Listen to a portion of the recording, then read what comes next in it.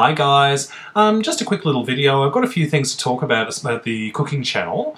Uh, first things first, I hit 15,000 subscribers yesterday on One Pot Chef Show channel, and I just wanted to say thank you very much to everyone for all your love and support recently.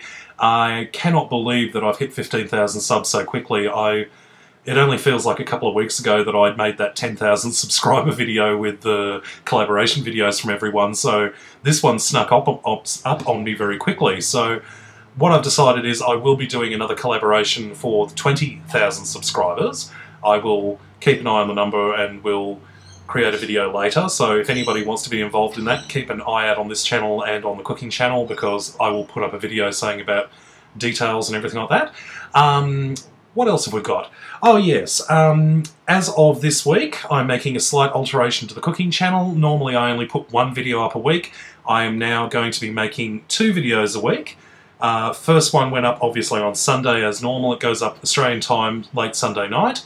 Uh, the second video for the week will be going up late Wednesday night. So I think that's Wednesday morning for Americans, I can't remember. But yeah, so Sunday and Wednesday the new videos will be going up. Um, I'm going to try and do two a week. I'm going to do it for a month or so to see how it goes because I tried doing multiple videos in a week before. This was a couple of years ago.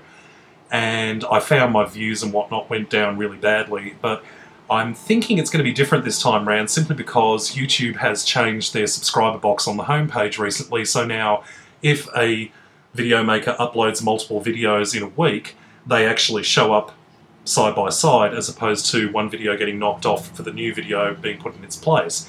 So yeah, um, new video going up in a couple of days, so hopefully that will work out. I'd like to hear your thoughts on the idea of doing two cooking videos a week, so please feel free to leave a comment below telling me if you think it's a good idea, if you don't like the idea, if you prefer if I just stick to one video.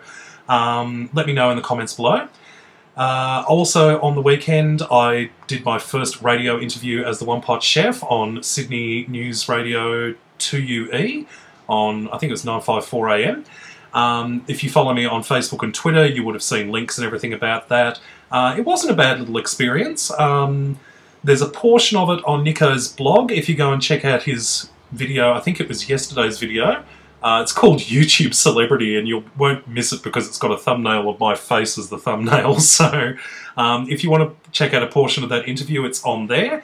So, yeah, that's it from me. Just wanted to catch you up on everything that's happening. So, please leave your comments below about the new format for the show. It's going to be exactly the same as normal, it's just I'm doing two videos a week now instead of one. So, let me know if you think it's a good idea, if you like the idea, if you don't like the idea. I just want your honest opinion. Anyway, I shall leave you to your fun, keep out of trouble, and I'll talk to you later.